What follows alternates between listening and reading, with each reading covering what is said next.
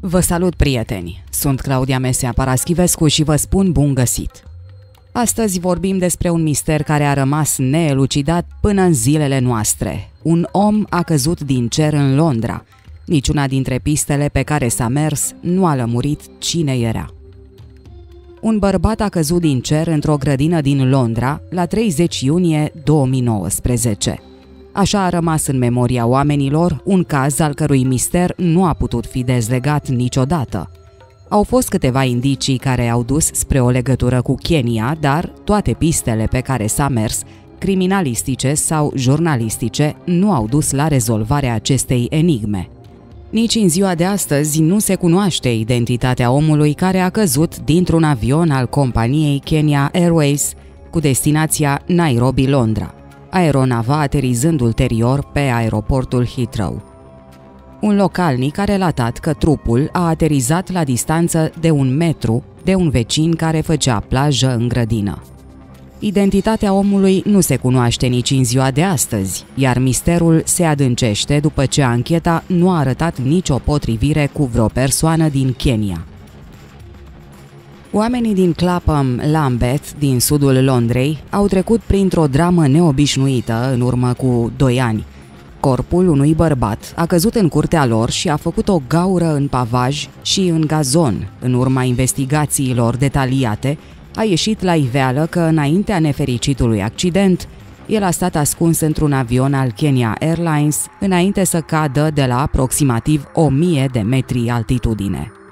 Evenimentul dramatic s-a petrecut cu câteva minute înainte ca avionul cu pricina să aterizeze pe aeroportul Heathrow. Bărbatul neidentificat a căzut în grădina din Clapham, iar zgomotul de la impact i-a speriat pe vecini.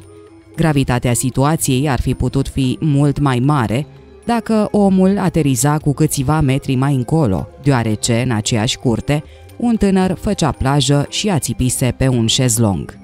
Și totuși, cine era pasagerul clandestin?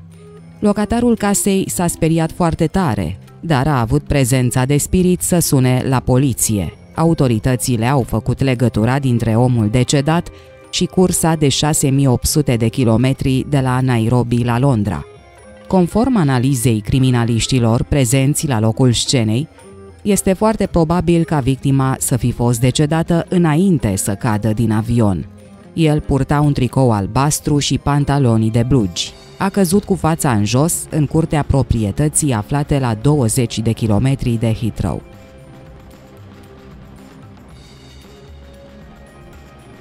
O vecină s-a speriat foarte tare. A fost groaznic. Am auzit o bubuitură puternică.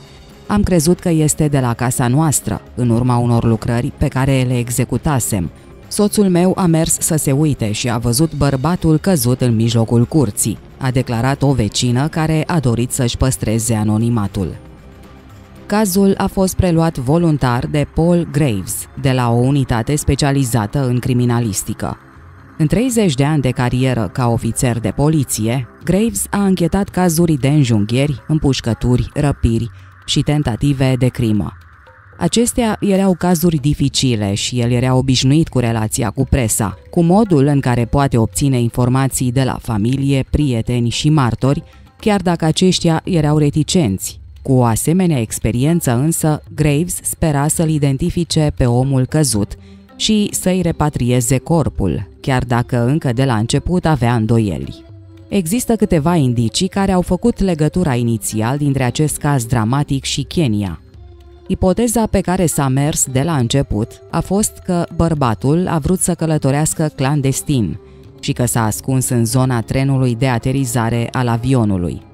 Poliția a luat legătura cu conducerea aeroportului Heathrow, unde personalul a cercetat zona respectivă a avionului. S-a constatat că era suficient spațiu pentru ca o persoană să se ghemuiască și să se ascundă acolo – de altfel, acolo a fost găsit un rucsac kaki cu inițialele MCA scrise pe el. În rucsac erau doar niște pâine, o sticlă de suc, o sticlă de apă și o pereche de ciorapi. Paul Graves a tras prima concluzie. Bărbatul își luase la el doar lucruri esențiale pentru supraviețuire. Un indiciu i-a atras atenția. În rucsac au fost găsite câteva monede din Kenya, iar sticla de suc fusese vândută de un magazin kenian, ceea ce a arătat că pasagerul s-a urcat în avion din Nairobi. Misterul se adâncește, nici o potrivire cu vreo persoană din Kenya. Totodată legiștii au prelevat mostre din ADN-ul bărbatului și amprente pe care le-au trimis autorităților din Kenya. Rezultatele ADN s-au întors rapid cu mesajul că nu a fost găsită nicio potrivire în baza de date. Paul Graves avea speranțe în amprentele preluate în sensul că multe locuri de muncă din Kenya cereau amprentarea candidaților, dar nici amprentele pasagerului clandestin nu se aflau în baza de date a poliției din Kenya, relatează The Guardian.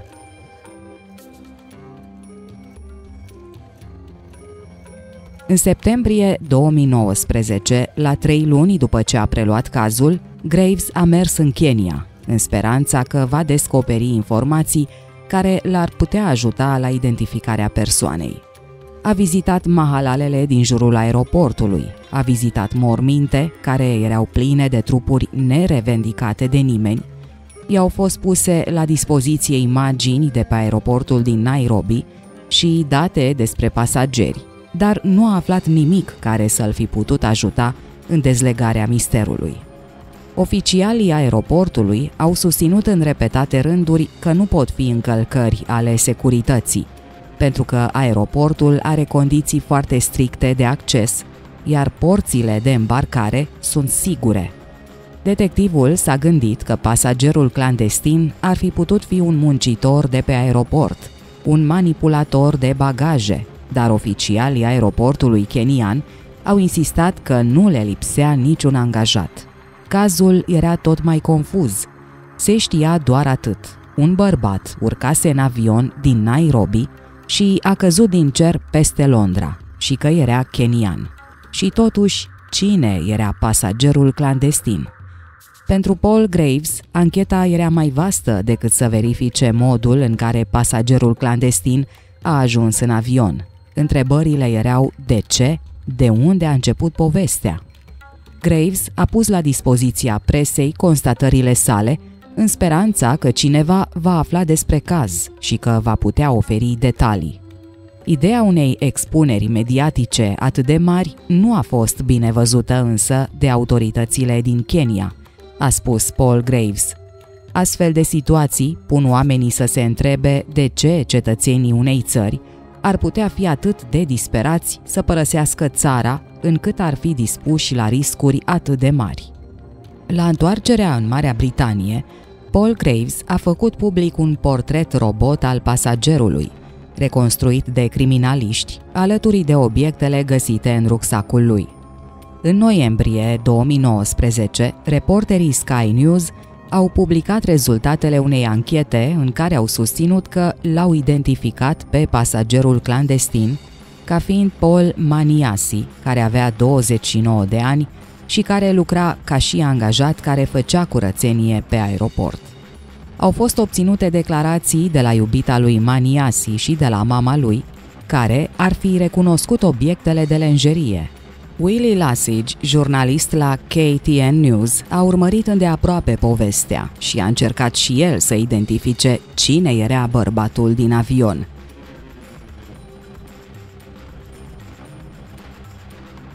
S-a crezut că misterul a fost elucidat, dar rămânea o întrebare. Cum putea mama lui să îi recunoască obiectele personale în condițiile în care spusese că nu-l mai văzuse pe fiul ei de câțiva ani?